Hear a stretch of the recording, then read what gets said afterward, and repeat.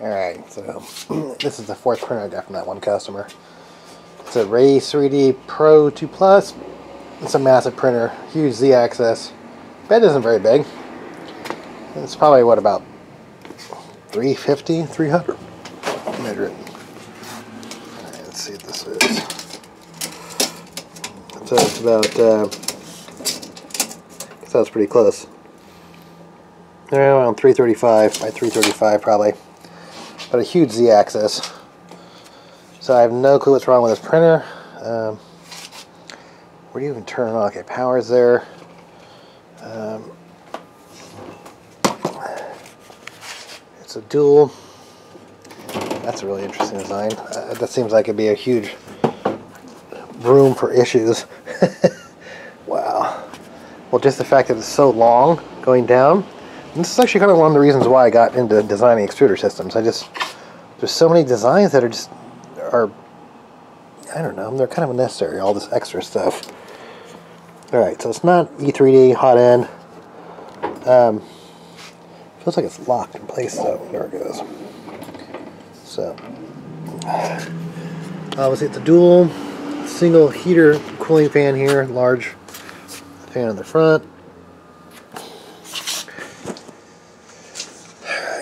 So I have no idea what's wrong with this thing. I just when when it's like this, you know, it's um, I just there's so much room for for jams that you can when you can't grab it. But it looks like a very Bondtechish. These uh, that's what, exactly what a Bondtech looks like. So maybe it's like a some kind of dual Bondtech. Raise 3D or some custom version of a Bondtech. Yeah, there's a motor on each side, extruder motor on each side. Alright, so it's a big printer. Is there any LCDs anywhere? So I'm guessing that's probably the back. Alright, okay, so a big LCD here in the front. And a couple USB ports. Alright, let's fire this up, see what happens. Alright, so notice that there is Ethernet here. So let's turn this on. Alright, lights. Here's some fans. Guessing the main wire comes up here.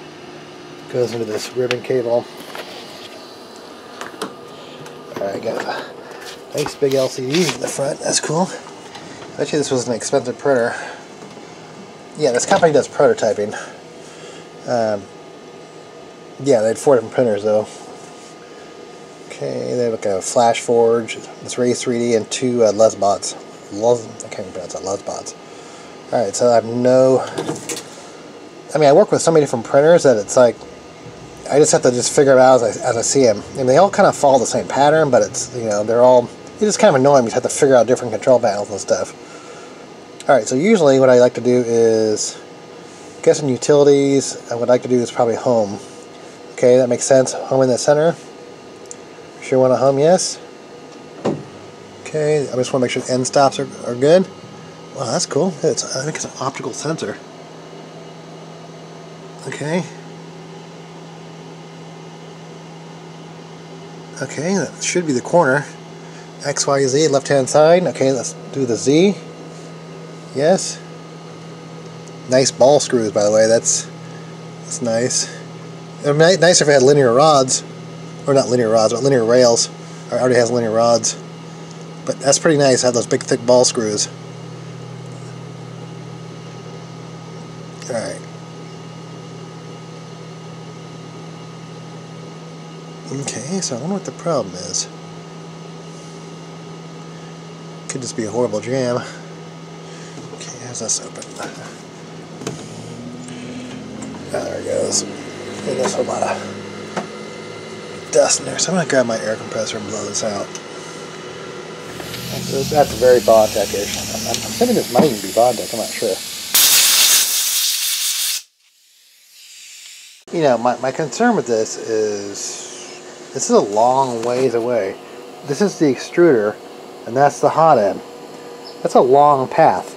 So that could, I mean, that's a lot of room for heat creep. I mean, if it's not controlled correctly with these fans, um, I mean, that seems like a, that's a lot of room for error. And this actually is one of the nicer control screens I've seen. So I wonder if this is actually Marlin based, the, the firmware. Um, Alright, so I'm heating up the left nozzle. I'm going to try to fish the, this, if the left nozzle is typically, usually the primary. I'm going to put that, do a test there. And I'm assuming it's probably a clog. Um, so, yeah, they just dropped off four printers. They didn't really say specifically what was wrong with them. So, um, alright, this is the last one I got to figure out. I mean, this is a pretty cool screen. You have left, right filament, or left extruder, right extruder. Um, so hoping I can just, uh, this will extrude down.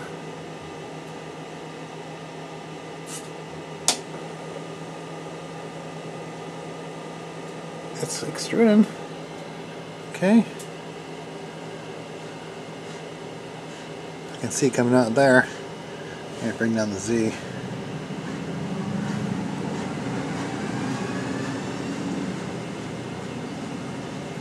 Alright, so I do see an issue. I'm heating them both up. And um, no, I guess we're, we're good. At first I, I kind of threw them out. So this is actually the okay. So that's the extruder cooling fan. Cools off the actual uh, heat fins in there. So you know to prevent heat creep. So I'm heating up the second one. Those are the these are the actual layer. At first I thought these were the actual extruder cooling fans, and these are just a layer part cooling fans. Um, so I'm heating up the second one to make sure it's not clogged either. Um, what's this thing right there? Broken off screw? What is that? Set screw? It's kind of funny. I noticed this one's actually loose. That one's in there good. And, you know, like I said, I found a set screw. It was just sitting there. so, I mean, that could be why it's not tight in there. You're not going to be able to see it, but the right side does have a clear filament jam in there. If you can see that or not. See that filament there? It's stuck in there. So I can't feed any more filament in, and so I'm going to have to separate these two halves here. Alright, so a couple screws and this whole section come off. That's actually why I took the screws off, so I could pull this without pulling the, try to pull filament out too much. Um, I gotta pull that gray one out of there. So this one is a Saphir Jam. So it is, I put a little filament to stop the uh, heated cooling fan, raise the temperature up to 260. I'm to try to soften up the plastic that's in there. I'm to use this little thing to push it through. Alright, so hopefully I can get this on camera. Alright, so hopefully it's softened up by now.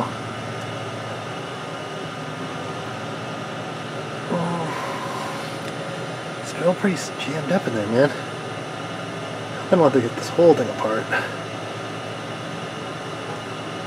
Alright, how far is it? It's about two inches down.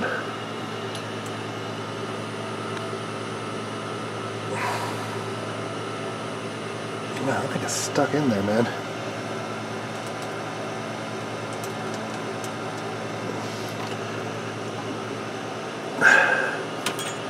Wow, that's pretty bad. Well, I mean, the filament was just breaking apart, like, just, like that filament, I guess. Yeah, that's a horrible jam. Look at this weird design. Why do they do that? Like, literally, it causes, it doesn't just cause me problems, it causes the actual customer problems. They're taking it to me to fix it, you know? What is that thing? It's like a spring-loaded something. What is the point? I can see the gray filament stuck in there, you know? It's like, what are they doing? What are they doing? So at least I know where the missing set screw is now. Goes on that side. Looks like they tried to get in here to fix it. Um, I don't know. This is beyond me why they even design it like that. Um,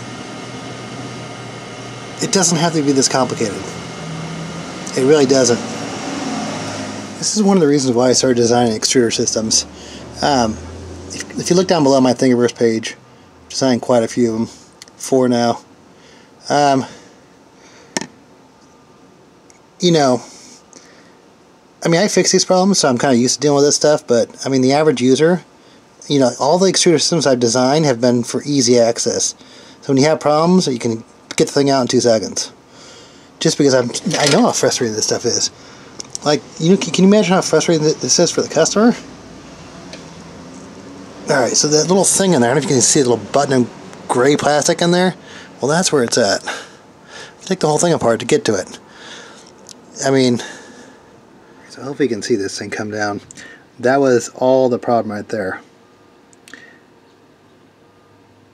I don't know why they would do that. But I'm to get my air compressor, blow that's all the crap out of there and get this thing out of here. But that weird, I mean, I can, I'm assuming that the spring tensioner has to keep this, it's not really a PTFE tube, but it's, it's the same concept, this thing right here. Is to feed the filament through, but in this case, it actually caused a problem. Because when it pulled it back up, it wasn't tight. And I'm assuming this little nut thing here, maybe I adjust the tension right here. I don't think it would be actuated. You never know, it could be actuated. Like with this thing right here, maybe. I don't know if it's, it could be actuated, who knows.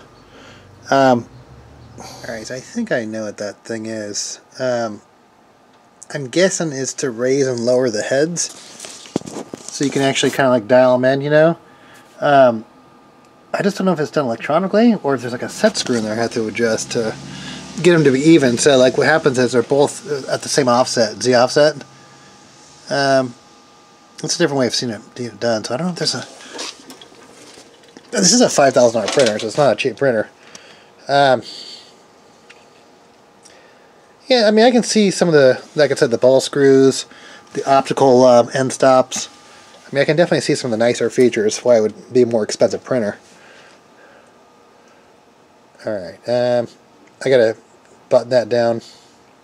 I gotta first heat it up to, well, anytime you actually uh, uh, fix a nozzle, you have to heat it up because the plastic is like glue and it will uh, prevent it. So I'm gonna screw this tight, that way I can get this evened out here. Yeah, I've got guessing see that. But see there's about a millimeter gap between the top and the block? That's what you want because that way you know it's locked in place. So in a previous video I just did on that piece of printer, right? If they're not locked in place, right? I'm not clamped in there, If it's not a tight fit, you're locked on the block. You, you know you're not locking against the heat break here, right? So if you're not locked in there, plastic can sometimes ooze over the top. Come out of the top of the filament. So if it ever comes on the top, like it looks like this one did. You see how this right here? See you see all this film on the top right here? It was actually oozing out the top. So, um, so I had to take it out, readjust it, make sure it's locked in place. I'll clean that up a little bit. It's cool that it yeah. actually has local storage. So, put the film in a shot glass. Okay. So I might create a calibration cube, come back, Hopefully there's a Cura profile for this printer. Some of these actually like custom printers, or there's not. So, um, yeah, they have their, like a lot of them actually have their own slicing software. Um, yeah, wondering about. I don't see any option for like bed leveling. Um, I wonder if it's gonna there's an auto sensor. I mean, I don't obviously I don't see a BLTouch or capacitive sensor, but as you saw in my last video, like with the with the uh, Luzbot. The uh, yeah, yeah, the Luzbot. They actually have like the where the probe and hit the corner. They actually like ground out on, the, on like some corner washers. So there's a lot of different ways I've seen bed leveling. Yeah, so I've never messed with one of these printers before, so I really don't know what to expect. So starting to print. The bed's already thrashed already, so there it goes. Let's see what happens. Like I said, I don't know how it's going to actually determine the z-axis. Okay, bring in the Y. So I don't know if it goes back and touches those probes right there. That's maybe what it does and kind of like releases it. Then I can maybe do the offset in the control panel. Um,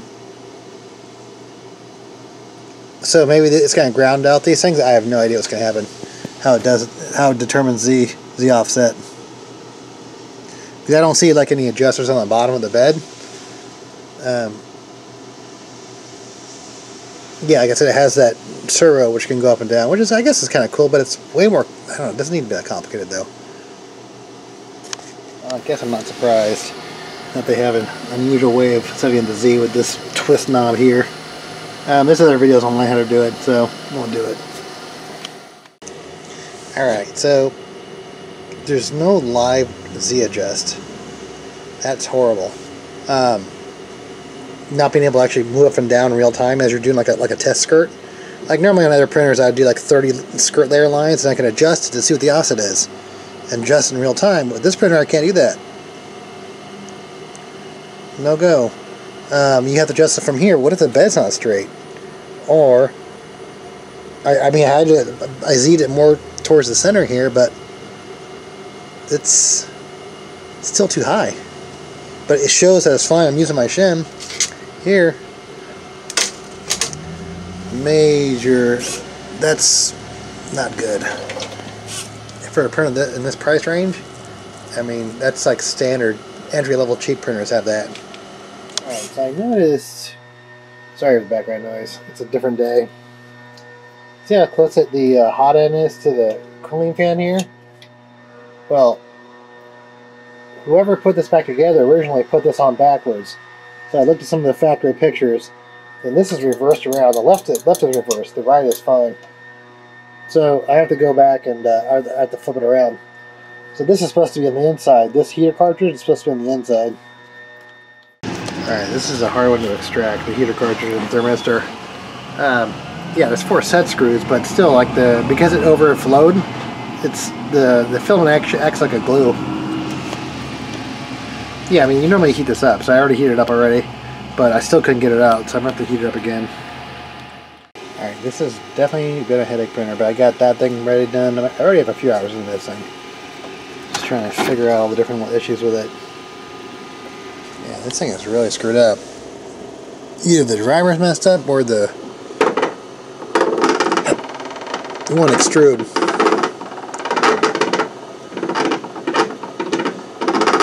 Almost like I feel like there's a I can hear it clicking. It could be a, a bad wire. I'm not sure. Uh, looks pretty good. Yeah, there's something definitely it won't extrude right. So this thing has all kinds of problems. Try the right side. Get back and God, man, this thing is kind of a headache. Alright, I'm going to try the right side and see if it extrudes.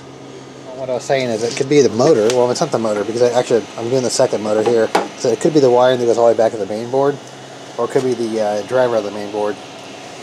But uh, yeah, something's not working right with the you know, let me try that, you that again. Go back to utilities. So I'm heating up the second extruder. You have to heat up the extruders before you can hear that. To me, it seems like a not, you're probably only energizing one coil. So, I mean, this printer has so many problems. Like even the right side is messed up too. It's like, is this a test?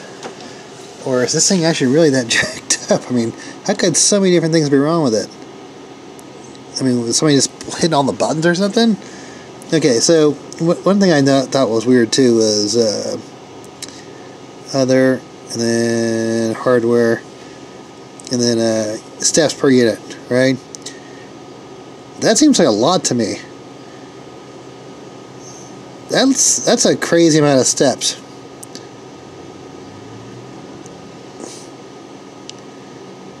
I mean, normally a typical Bondtech 3 to 1 gear ratio is about 415 steps per, per millimeter. Um,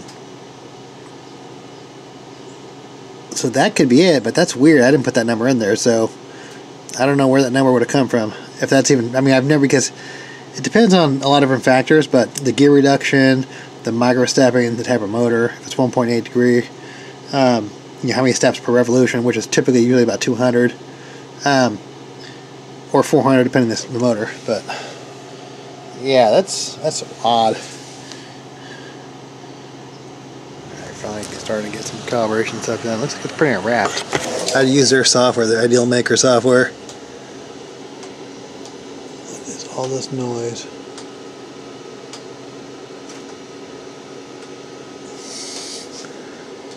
nah, it's already jamming what's the thing doing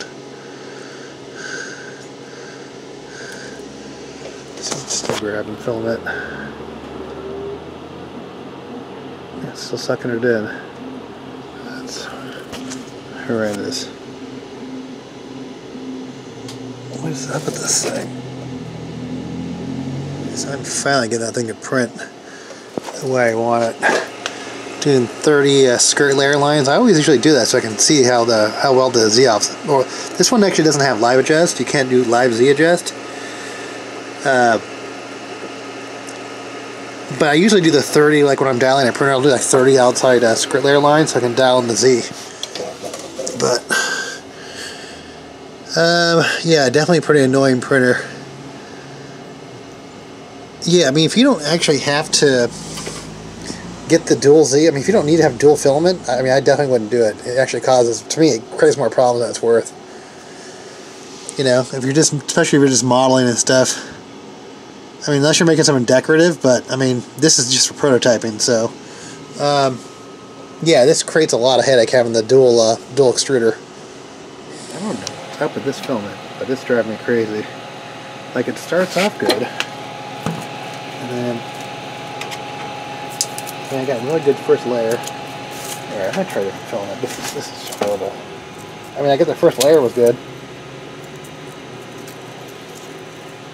Alright, calibration cube is done. Looking pretty good. Alright. Yeah, this is probably, uh, probably definitely one of the more complicated printers. I mean, it's in a whole different price category, though. It's $5,000 printer, so... Um, interesting, you know. Um, I mean, I guess I'd probably rather have a Voron printer. I don't like when the, I like when the when the, the whole Z gantry moves and not the bed. Um, well constructed ball screws. Um, I don't know. It's cool, I guess. I don't. I don't think I'd want to spend five thousand dollars on it though. But, um, all right, cool. Another printer fixed. Awesome.